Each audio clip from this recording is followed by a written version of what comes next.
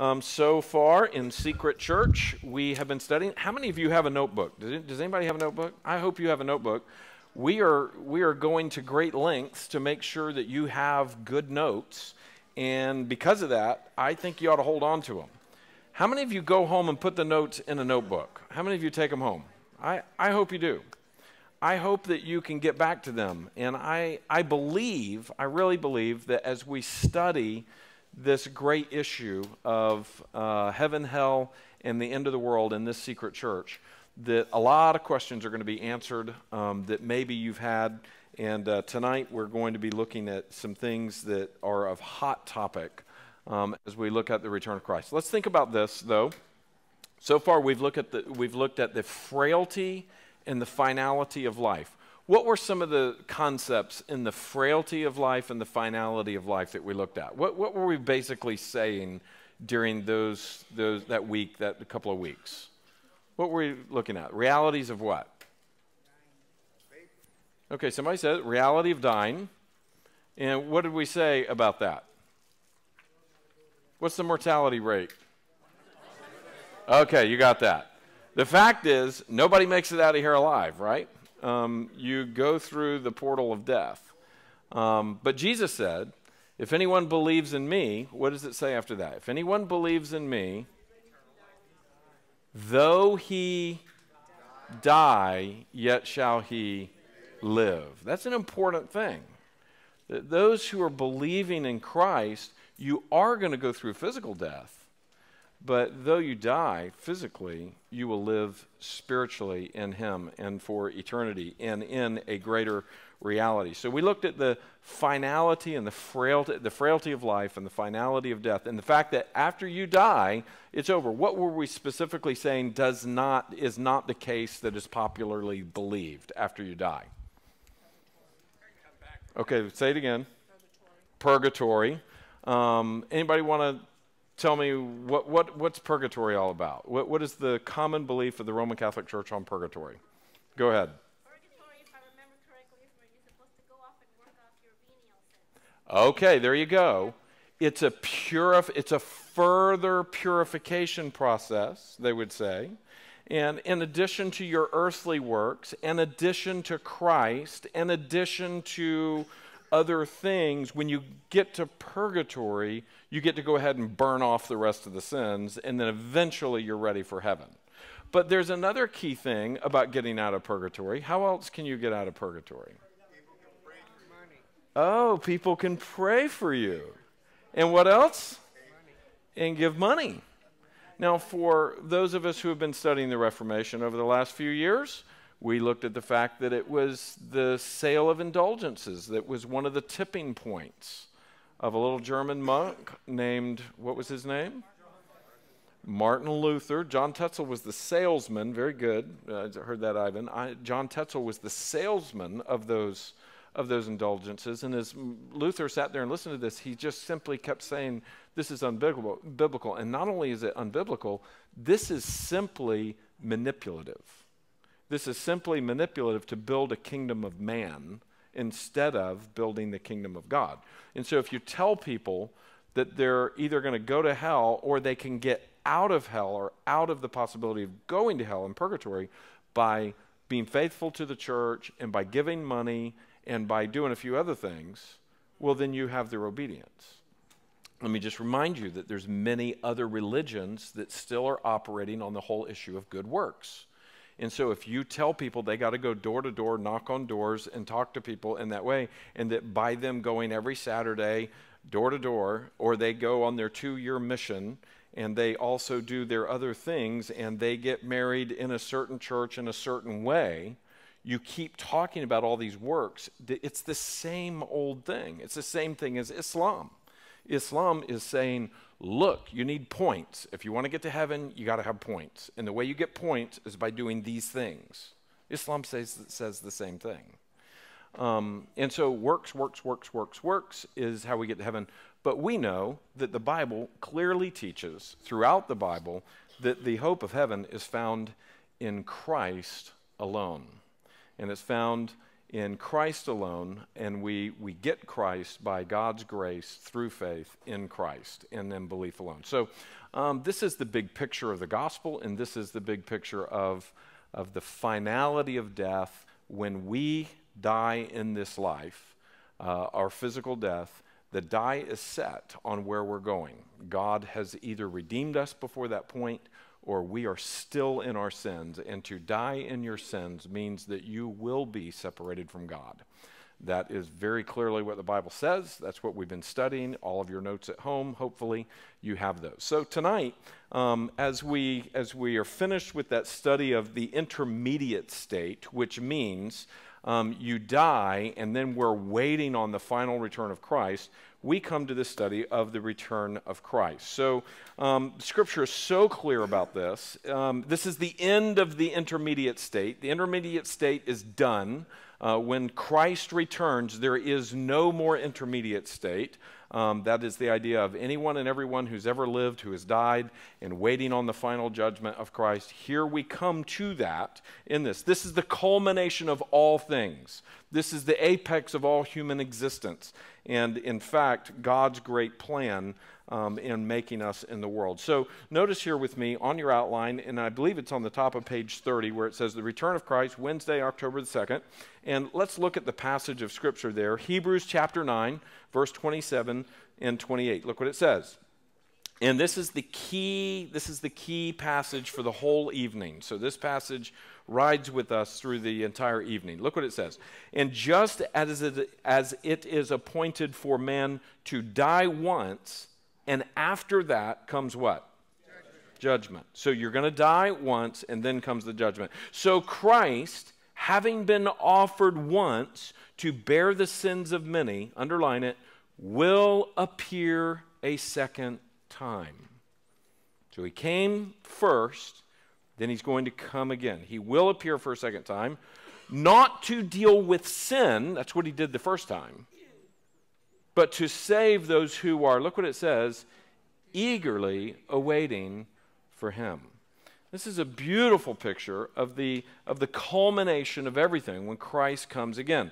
There's, there's some things that we know about the prophecies of Scripture and about the, the telling of what are the things to come, and there's some things that we don't know. Um, and so we want to look, first of all, at the things that we know. The first thing that we know is that Jesus is coming back. There is no question about the fact that the Bible is very, very clear that Jesus is coming back. In fact, this is just a few of the passages that, dis, that, that declare this. And we're going to read just a few of them. But look at Matthew 24, verses 30 through 31. Then will appear in heaven the sign of the Son of Man. That's Jesus and then all of the tribes of the earth will mourn, and they will see the Son of Man coming on the clouds of heaven with power and great glory. And he will send out his angels with a loud trumpet call, and they will gather his elect from the four winds, from one end of heaven to the other. Look at the next passage, Acts 1 9 through 11. And when he had said these things, as they were, now this is just as Jesus is ascending to the Father, he's looking at his disciples and he says, I'm leaving, the Holy Spirit's coming, go out and tell everybody what I've done. Um, in coming and dying for your sins. And he says, So I'm leaving. And look what it says. And when he had said these things, they were still looking on. He, lift, he was lifted up, and a cloud took him out of their sight. And while they were gazing into the heaven, into heaven as he went, Behold, two men stood by them in white robes and said, Men of Galilee, why do you stand looking into heaven? This Jesus, who was taken up from you into heaven, underline it, will come in the same way as you saw him go into heaven. Now, these are just two. There's many of these. Look at the next one. 1 Corinthians chapter 1. Look what it says. I give thanks to my God always for you because of the grace of God that was given you in Christ Jesus, that in every way you were enriched in him in all speech and knowledge, even as the testimony about Christ was confirmed among you. So he's saying, I'm, I'm thankful for you. I'm thankful for your salvation. I'm thankful that Christ is in you. Look at the end of that parenthetical that uh, statement in the middle. He says, so that you are not lacking in any gift, but as you wait for the revealing of the Lord Jesus Christ, underline that. As you wait for what? The revealing of the Lord Jesus Christ, who will st- sustain you to the end, guiltless in the day of our Lord Jesus Christ. You see, that's why we're called saints. When God forgives someone, he forgives them completely, found guiltless before the holy God. That is only found through the blood of Jesus Christ. Look at 1 Thessalonians 2. For what is our hope or joy or crown boasting before our Lord Jesus Christ at his coming? Is it not you? For you are our glory and joy. And Paul is simply saying, We are so grateful for the fruit of God's grace that we see in your salvation. And you are the reason that he came, and you're the reason that he's coming back is the picture. Flip the page over. First Thessalonians does, does it a few times. We look down through there, look at Second Thessalonians, 1st and 2nd Timothy, look at First Peter. Look at 1 Peter 1 and verse 13. Therefore, preparing your minds for action and being sober minded, set your hope fully on the grace that will be brought to you, underline this, at the revelation of Jesus Christ. What does that mean? At the revealing of Christ. This is when he comes again. We're looking forward to this final moment. And then I'm going to have you notice something here. In 1 John, it also talks about that. He's coming again. You don't want to shrink back in shame. But look at Revelation 22 7, Revelation 22 12, and Revelation 22 20. And I want you to see three beholds. This is so cool. Look at verse 22 and verse 7. And behold, I am coming soon. Underline those, those words. Behold, I'm coming soon. Blessed is the one who keeps the words of the prophecy of this book. Look at 22:12. Behold, I am coming soon, bringing my recompense with me to repay each one for what he has done. And then look at 22:20. Same word though, used a little bit different in English. He says, "Who testifies to these things and says, behold or surely I am coming soon. Amen. Come, Lord Jesus." This is, this is so clear throughout the Bible. Jesus wants us to know that He is the God who is present. He is present with us um, through the power of the Holy Spirit. He's present through us through our salvation. And in, even in the Messiah Himself, He has gone, come, saved us from our sins, gone back to heaven, sent the Holy Spirit. But the redeeming sacrifice of Christ is coming again to us. And this is just eminently clear throughout the New Testament. These are not the only places where you see it. You see it many other places in the New Testament where there are references to the second coming of Christ or to the return of Christ. But notice these things about that. First one is at the bottom of page 31. His return will be, fill it in, unexpected. His return will be unexpected. Therefore, stay awake. Underline this. For you do not know what day your Lord is coming.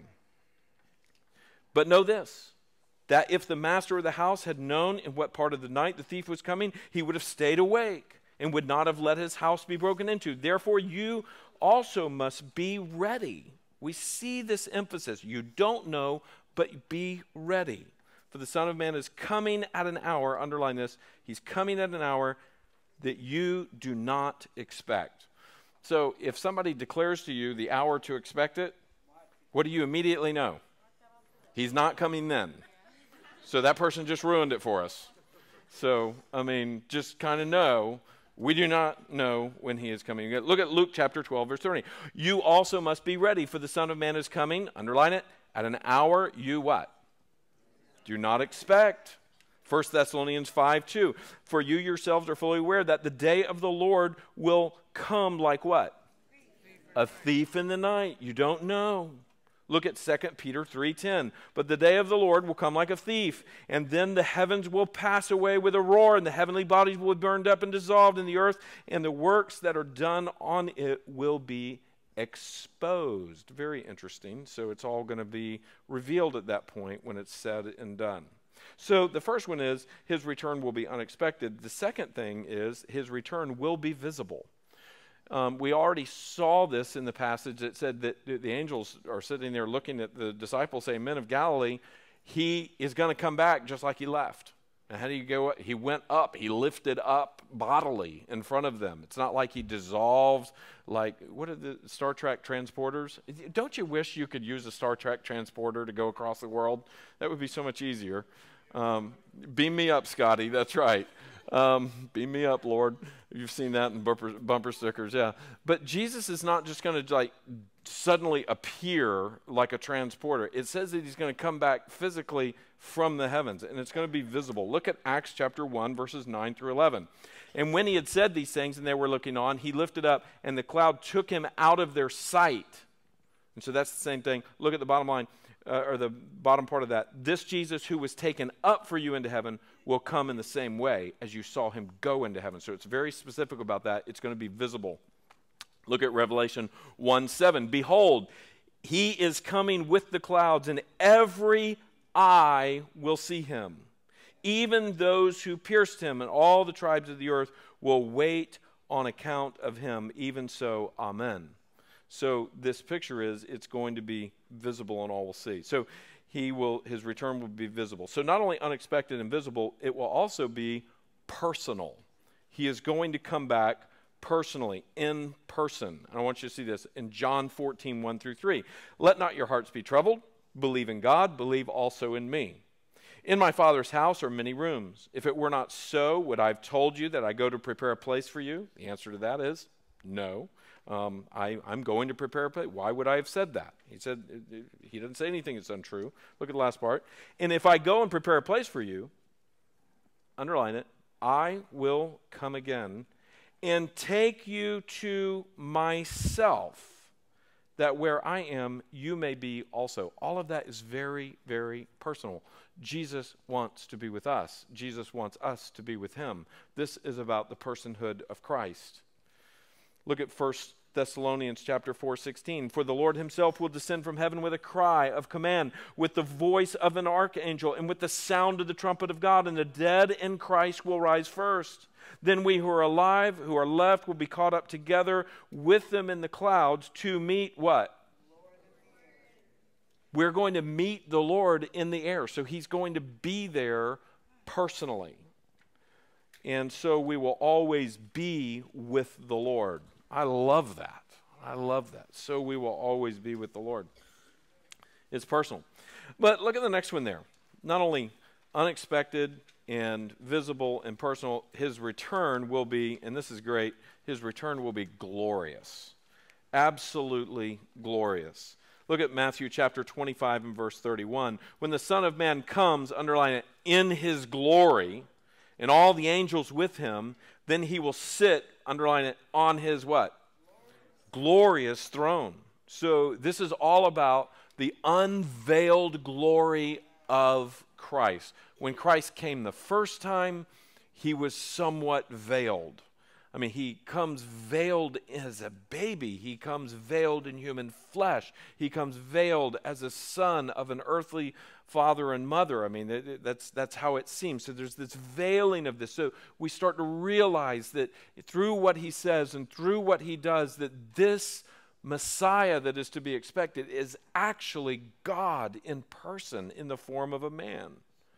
So that, fill this in. He came the first time lying in a manger. He will come the second time riding on the clouds. He came the first time very quietly. Um, now there were angels out in the out in the uh, excuse me shepherds out in the the hillside and, and suddenly a myriad of angels stands before them and says, Glory to God in the highest, peace on earth, with whom God is well pleased. And we see this beautiful picture of a glorious announcement. But for the most people, it was a very quiet time. Look at Psalm 104, verse 3. He lays the beams of his chambers on the waters, he makes the clouds his chariot. He rides on the wings of the wind. That's the language in which we see the Son of Man coming the second time. Look at Isaiah 19:1. Behold, the Lord is riding on a swift cloud and comes to Egypt, and the idols of Egypt will tremble at his presence, and the heart of the Egyptians will melt within them. We see this language of the way God rides over the earth and rides over with his sovereign power. Look at Matthew 24, verse 30. Then will appear in the heaven the sign of the Son of Man, and then all the tribes of the earth will mourn, and they will see the Son of Man coming on the clouds of heaven with power. Look at that, with power in great glory. What's interesting about this is that how did Jesus not only come, he, he came as a baby lying in a manger, and th- that's how he came into Bethlehem. How did he come into Jerusalem the week before he would? He comes on a, and it's not just a donkey, a young donkey, a foal donkey. So this is a weak, this isn't even a donkey that is very valuable for work yet. So this is, a, this is really humility. This is really meekness. My friends, it's going to be all the opposite the second time that he comes.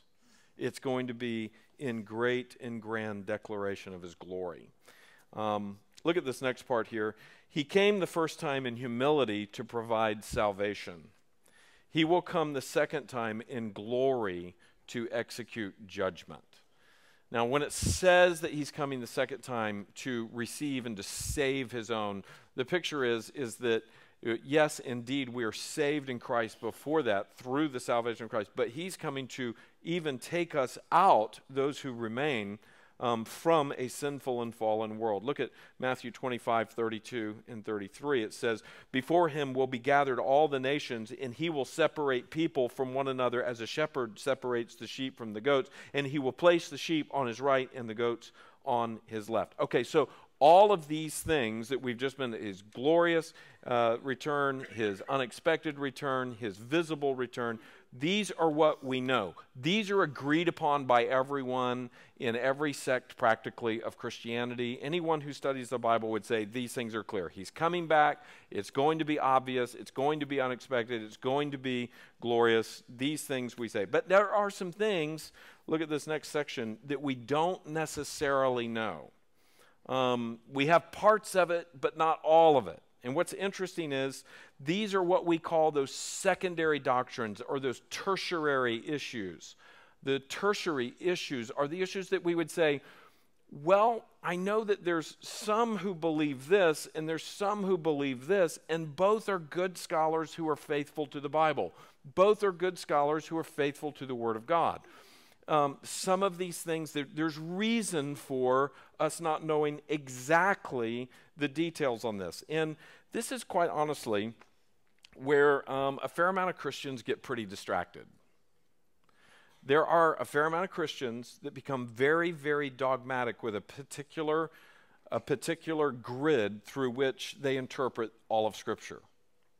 And we just have to be careful about that um, there are some things that we can be very dogmatic about that are very, very clear. Salvation in Christ alone, that's very clear.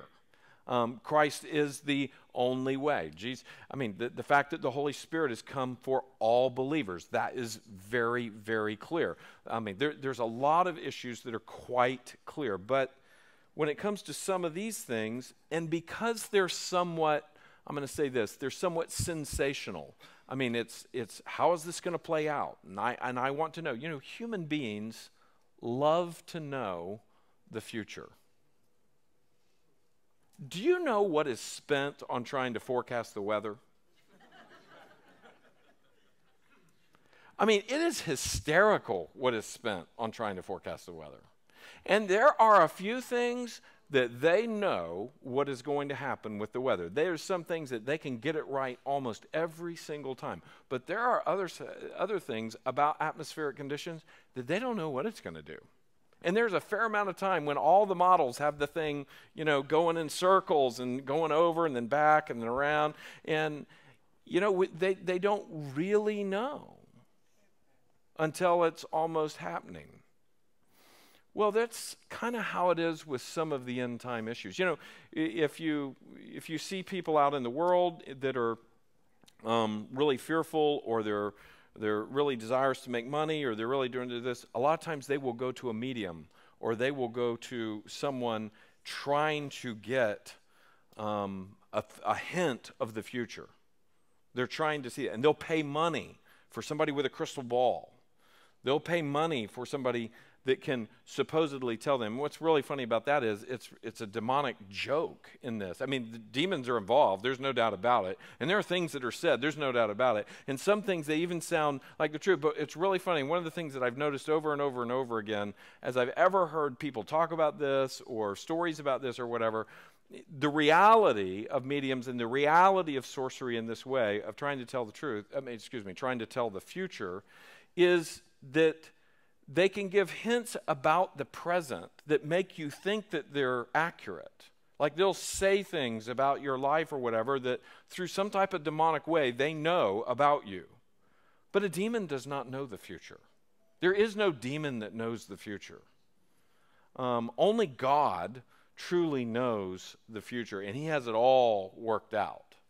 Um, demons can make it sound, they can make uh, a medium sound like they're speaking truth about the future, um, but that's only from things from the present or the past. They do not know the future. And so here we come to see some things that um, we, we start to realize you have to be careful what all you're saying about the future. The first big thing that we would say is um, that we do not know is when Jesus is coming back. We do not know that. We've already read several passages. Here's another one Mark 13. Look what it says. But concerning that day or that hour, no one knows, not even the angels in heaven, nor the Son, but only the Father. Now, there's a whole discussion to have there about the Trinity, and we'll have that at another time. But I, I just want you to see this. Look what it says Be on guard, keep awake, for you do not know when the time will come. That is really one of the main things Christians need to hear from these words about the coming of Christ is that you do not know and you are called to be ready. Look at Matthew 25 and verse 13. Watch therefore, for you do not know neither the day nor the hour. Now, I'm reminded of, how about this? Um, does anybody remember the book 88 Reasons Why Jesus is Coming Back in 1988. that was like a bestseller. And I'm embarrassed to say among Christians that was a bestseller. 88 Reasons why, why Jesus is Coming Back in 1988. How about this one? Some of you maybe have heard of Harold Camping. Do you guys remember the guy, the radio guy, Harold Camping? He said Jesus is coming back on May 21st, 2011. And when Jesus didn't come back, he said, Oops, sorry, wrong calculation. It's October 21st, 2011. And when he didn't come back again, Harold Camping was like, Okay, I'm done. I think everybody else was like, You just need to be quiet. Um, but it was amazing that so much buzz was created by that. And there were, there were even Christians. I mean, I, I remember um, there were people that were, What do you think? What do you think about this? Um, but the fact of the matter is, is that no one knows the day or the hour when Jesus is coming back. And so, notice here, not only do we not know the, when Jesus is coming back, we don't really know what signs have been fulfilled we do not know what signs have been fulfilled. Um, let me give you some examples of this. The preaching of the gospel to all nations. Um, the Bible tells us that Jesus will come back after the gospel has been proclaimed to all nations. Now, there were some who would say at the end of the first century, the gospel had been preached to all of what was called the civilized world at that time, all the ethnos. Um, there would be some who would say, well, now we are preaching the gospel to every nation on the earth through satellite and people present. There are missionaries in literally every country on the earth. So the gospel has been fulfilled in this. Um, there's others who, more along my thinking, is is that no, when we're talking about the nations, when we're talking about the different ethnos, the different tribes, there are still tribes of people um, all over the place who have never yet heard the gospel. And those are groups that are legitimately called ethnos or the nations of the world, the peoples of the world. Um, we still have, in fact, a few thousand people groups that have not heard the gospel, that do not have the gospel in their language.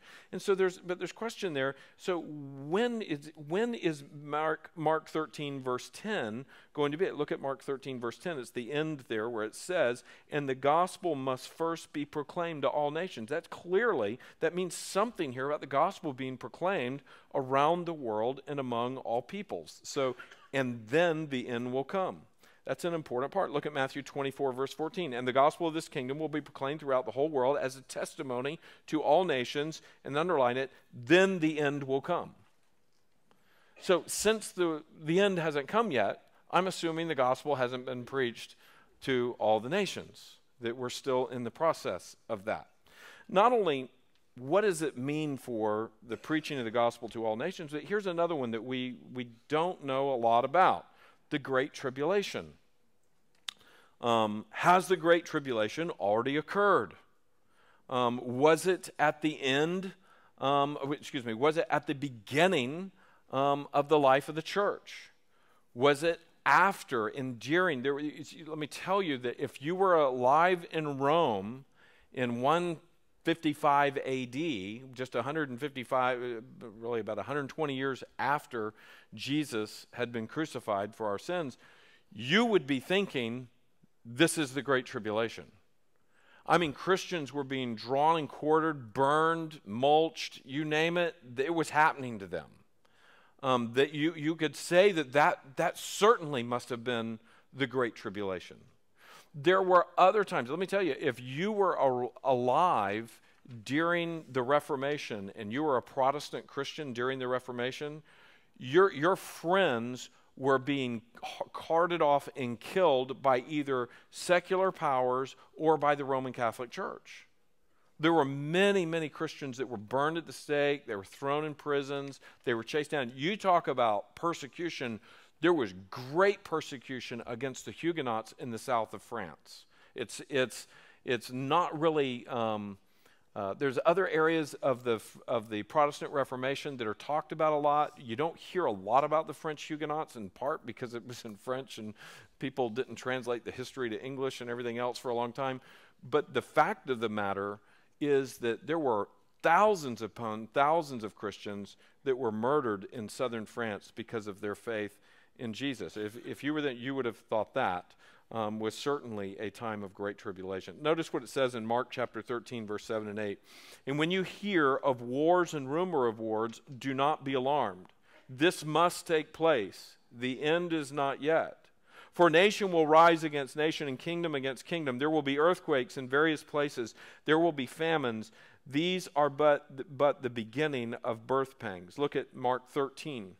For in those days there will be such tribulation that the earth has not that has not been since the beginning of creation that God created until now and never will be.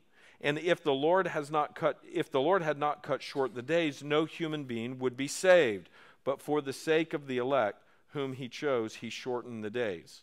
Now, I mean, there's a fair amount of statements like this that we go, what does that exactly mean? It could be this or it could be that. And um, there are good and reliable scholars um, on different sides that would say um, various things about that. But it's safe to say that we know that there's going to be great persecution until Christ returns, and especially leading up to immediately before he returns. That is very safe to say. Um, and we see that in Matthew chapter 24. Again, so when you see the abomination of desolation. Now, a lot of people thought that was when Titus um, sacrificed pigs on the altar in Jerusalem in 70 AD and then destroyed the temple. There was a lot of people who thought this has got to be the abomination of desolation. Um, notice here, spoken of by Daniel, standing in the holy place. Uh, let the reader understand. Then let those who are in Judea flee to the mountains. Let the one who is on the housetop not go down to take what is in his house. Let the one who is in the field not turn back to take his cloak. And alas, for the women who are pregnant and for those who are nursing infants in those days, um, pray that your flight may not be in winter or on the Sabbath, for then there will be a great tribulation, such as not been from the beginning of the world until now. Um, so you, you see this talk of a very, very radical and true tribulation. So, what does it really mean about the proclamation of the gospel to all nations? What does it really mean about the, the great tribulation? We don't really know what it also means, bottom of page 34, about false prophets and miracle workers. Are, the, are these very, very general statements? I mean, we've got a lot of false prophets now um, of many, many different kinds that are proclaiming the gospel for different. We've looked at that, um, and those, those seem to be multiplying um, right now. There's no doubt about that. And even miracle workers, people who seem to be miracle workers. This is saying perhaps even real miracle workers, not talking about Benny Hinn, that's sham stuff. Um, but what about demonic power workers? There will be magical power workers. That's, that's very possible, very probable um, in this. And this is, I believe, what it's speaking of. Look at Mark chapter 13 and verse 22. Look what it says at the top of page 35. For false Christs, and underline it, false prophets will arise, and look what it says, and perform signs and wonders to lead astray, if possible, the elect. But be on guard. I have told you all these things, or all things, beforehand. Christians in this day and time need to recognize, and Sheridan Hills needs to recognize, if things, if we are getting near the end and things are going to heat up, persecution will come, and there will be mass deception, and there will be powerful prophets, and there will be people doing stuff right in front of your very eyes that will appear to you. And some people will say, well, if they can do this, they must be part of the truth. And I need to follow this, or I need to believe this, or I need to do whatever it is that they're calling me to do. But those are false prophets that are leading us away from Christ, and so powerful and convincing that some, even Christians, will be tempted to be led away. Look at Matthew 24, verse 23. We see the other idea of this. Then, if anyone says to you, Look, here is the Christ, or there he is, do not believe it. For false Christs and pro- false prophets will arise and perform great signs and wonders so as to lead astray, if possible, even the elect. So these are false prophets and false miracle workers that the Bible says are going to come. We don't know much about. We know that those have existed to some degree ever since Jesus left. I mean, there were there were multiple people in ancient Israel that said that they were the Messiah, both before Christ and after Christ. And there were people who followed them. Um, and we're called to recognize that that um, is a, is a temptation um, for some. Look at the next part here signs in the heavens. What does it mean that there's going to be signs in the heavens? When you look at the Mark 13, 24. But in those days after the trib- tribulation, the sun will be darkened and the moon will not give its light, and the stars will be falling from heaven, and the powers of the heavens will be shaken. And then they will see the Son of Man coming in the clouds with great power and glory. So there's something that is going to happen that is going to precede the coming of Christ that seems to be on a celestial sta- uh, scale. Now, some people would say, well, when there have been great um, um, events that have clouded the sun from shining. Maybe a huge, massive super volcano that would cloud the sun from shining.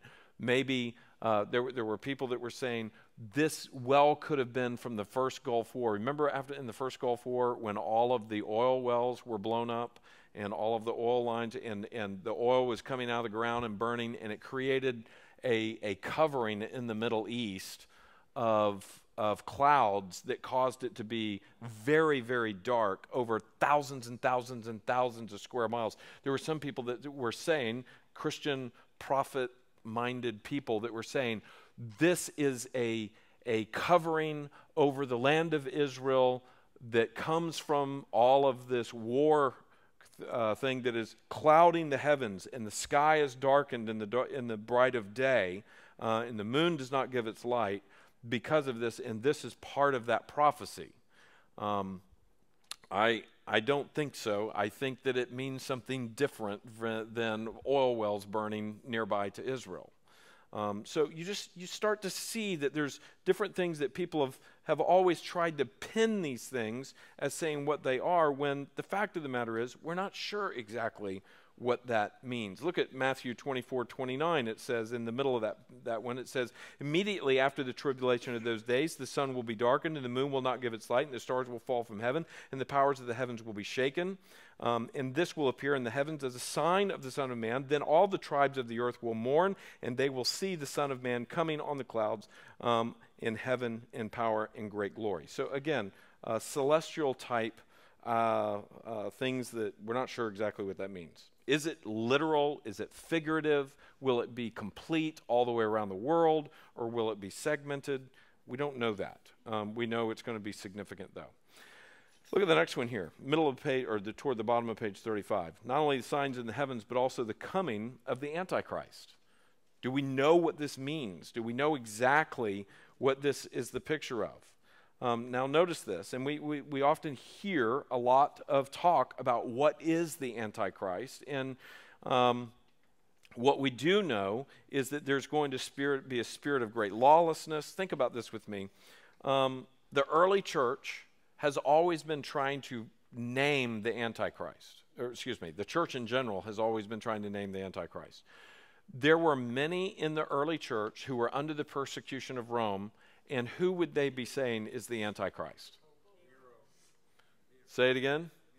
Nero, Nero or Claudius or uh, Dominus or one of the other Caesars that was bringing great persecution upon the church. There were many Caesars over a period of 250 years that persecuted the church heavily. So, the, the, leader, the current leader of Rome was often called the Antichrist. Um, eventually, there were others that would have come along, but somebody also said the Pope. The Pope has often been called the Antichrist. He is a powerful leader who um, anyone who really reads the Bible would say he's not in tune with what the Bible says. And, you know, the Pope that we have now um, seems to be rather innocuous. Excuse me, all the popes that we've had for the last 150 or 200 years have been rather innocuous. They haven't been very violent and dangerous, they haven't been leading holy wars, and they haven't been putting many people to death. Um, they run around in a pope mobile and wave and, you know, all those nice things that they do. Um, but that wasn't always the case. I mean, there were popes that saw themselves as great warriors. And there were popes that led uh, all kinds of inquisitions and all kinds of great um, uh, attack upon the early church. So it would be very reasonable that many people would say, well, this must be the Antichrist. Um, how about this one? During the Great uh, Cold War, there were many people who were saying, well, what must be the Antichrist is actually the Soviet Union. The Soviet Union has been expanding. The Soviet Union is this dark power. I mean, if during the 1950s and the 1960s, and when we were seeming to come to uh, the, on the brink of nuclear war, how many of you remember the Bay of Pigs? I mean, some of you are saying, okay, what is the Bay of Pigs? Um, and some of you are saying, I'm afraid to put my hand up because it'll show my age. It doesn't matter. We respect age here. So who cares how old you are? Um, you, that's, that doesn't matter. But if you were alive during the Cold War, and especially when it was potentially getting hot, turning from a Cold War to a hot war, you would say, man, the Soviet Union must be the Antichrist. Already in the last couple of years, since all of the technology stuff and all of the social credit stuff and all of the rising of China, I've heard people say, well, China could be a figurative antichrist. They are atheistic, they are against um, Christianity. They are now rising in great power. They have surveillance ability that the world has never known, which is all true. Um, and so there's, there's some who have said, well, certainly China, especially if it comes to inflict um, great pressure upon the church, that certainly could be the Antichrist. So the question is is it a specific person? Is it a figurative person? Is it a nation? Is it a system? Um, those are, those are all things that I personally believe that it's going to be an individual. I, I believe it will be an individual that's very powerful. I believe that there have been many evil individuals that have come along, but eventually there's going to be a demonic person that is raised up um, that is going to be a very powerful one who will deceive. Um, look at Second Thessalonians um, and this passage. I, I, want you to see it starts at the no, it starts at the bottom of 35 and then it goes over to 36. And uh, I want you to see this. Look what it says. Now, concerning the coming of our Lord Jesus Christ and our being gathered together to him, we ask you, brothers, do not be quickly shaken in mind or alarmed, either by a spirit or a spoken word, or letters seeming to be from us, to the, to the effect that the day of the Lord has come. Let no one deceive you in any way.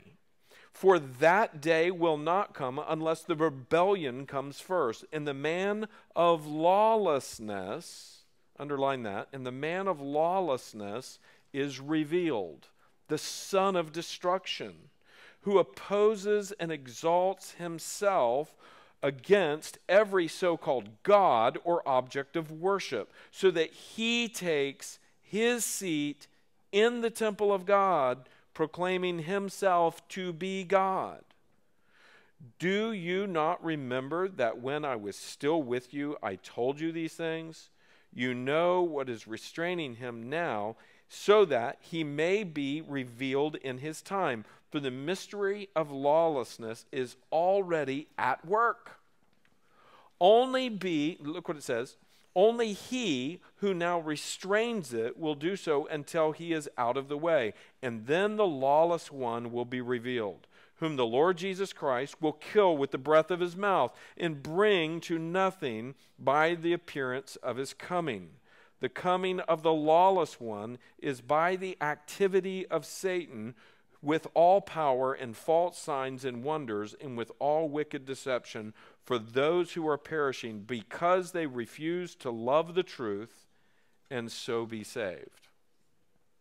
Now, I realize that everything we've been talking about tonight, especially when we come to things like this, I mean, this is getting deep into rather enormous sensational aspects. And sensational, I mean by playing on our senses overwhelming prophecies of things that are going to come, and they don't sound good.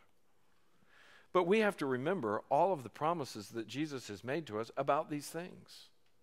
And we're going to see that in just a minute um, in clearer view. But look at this. We, we can take heart in this statement that is here underneath that. The Spirit of Christ is on Christians as a guarantee of his future coming. It's, it's the, the Holy Spirit that comes and has been given to us to guarantee and to hold us and to seal us for that day. Look what it says in Romans 8:23. And not only the creation, but we ourselves who have the first fruits of the Spirit groan inwardly as we wait eagerly for adoptions as sons, the redemption of what? Does it say? Our souls? Does it say our souls? No, our bodies. It's saying that even our bodies are going to be redeemed. He's going to come, and all those who have died before us, and if we die, our body too, He's going to come and He's going to redeem our bodies. And if you're alive, He, he will bodily um, redeem you out of this. Um, that's, a, that's a wonderful promise that even our bodies He is going to redeem. Look at Ephesians 1 13 through 14. In him you also, when you heard the word of the truth, the gospel of the salvation, believed in him, were sealed, underline that, were sealed with the promised Holy Spirit, who is the guarantee of our inheritance until we acquire the, pos- the possession of it. And so that's saying until all things are finished and we are finally with the Lord, both in body and in spirit. Um, these are the these are the promises. So Christians, in light of these, these massive, powerful predictions and forecasts of the great cataclysmic struggle um, before Christ returns, Christians can take heart um, that we have been guaranteed his coming. Look at the next part here. The spirit of the Antichrist in, in the world is also as a guarantee of his future coming. The picture is things are, things are lawless and becoming more lawless, lawless as an indication that he's coming again. Look at 1 John chapter 4 verse 2. By this you know the spirit of God. Every spirit that confesses Jesus Christ has come in the flesh is from God. And every spirit that does not confess Jesus is not from God. This is the spirit of Antichrist, which you heard was coming and is now in the world. Look what it says already. So, while I do believe that the Antichrist will be an individual, that's my belief, I do believe that there is a spirit of Antichrist, that there is a spirit that is against Christ in unbelief that seeks to exalt self and exalt this world um, and not worship God. Um, so, the spirit of Antichrist in the world just is a proof that he is coming again. Look at the next statement here. The Christ was preceded and accompanied. So, the Christ, that means the Messiah. The Christ was preceded and accompanied by a true prophet. Who was the true prophet that preceded Christ? John the Baptist was the forerunner of the Christ. He was the forerunner saying, Clear the way, make way in the wilderness. Here is the Messiah. Look what he says. In those days, John the Baptist came preaching in the wilderness of Judea Repent, for the kingdom of heaven is at hand. For this is he who was spoken of by the prophet Isaiah when he said, The voice of one crying in the wilderness, Prepare the way of the Lord, make his paths straight. And the idea is get out of the way, let him come through straight. He doesn't have to walk around you, doesn't have to go around you. It is saying, Here is the Lord. Think about it.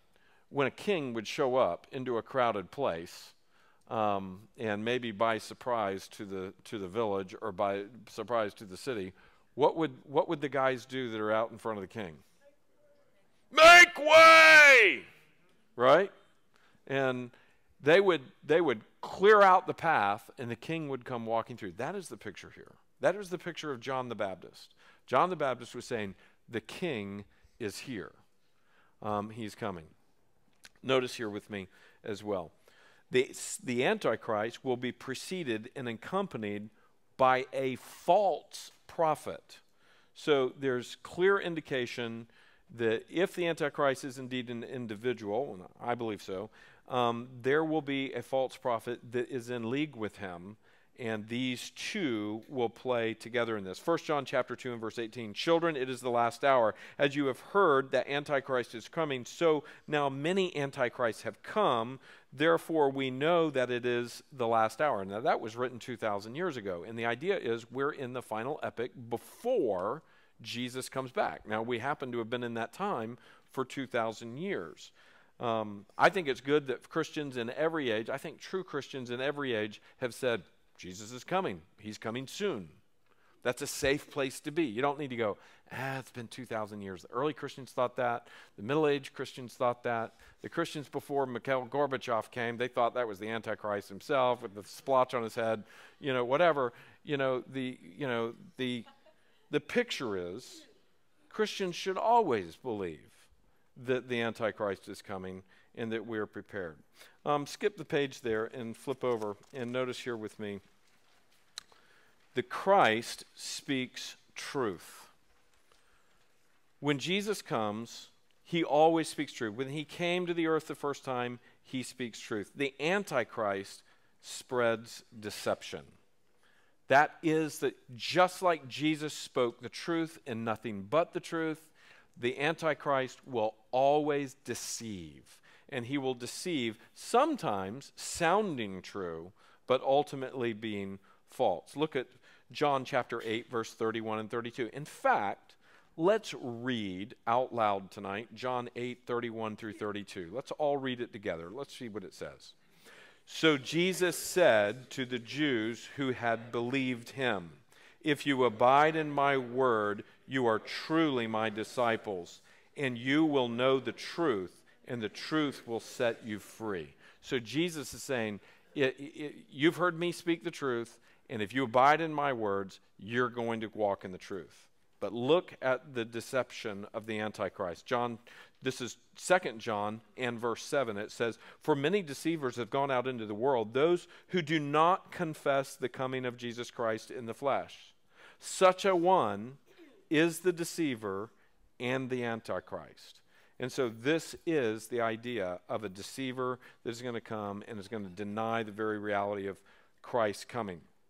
In Revelation 13, 13, and 14, we get the idea. And, and some would say this the first beast spoken of in Revelation 13 is talking about the Antichrist himself, and the second beast talked about in Revelation 13 is the false prophet that says, Look at what he said, and, and seeking to verify what the Antichrist has said. So, kind of a voice of affirmation of the Antichrist. So, these two seem to appear in Revelation 13. But notice in Revelation 13, verse 13, it says, it performs great signs, even making fire come down from heaven to earth in front of people. And by the signs that it is allowed to work in the presence of the beast, it deceives those who dwell on the earth, telling them to make an image for the beast that was wounded by the sword and yet lived.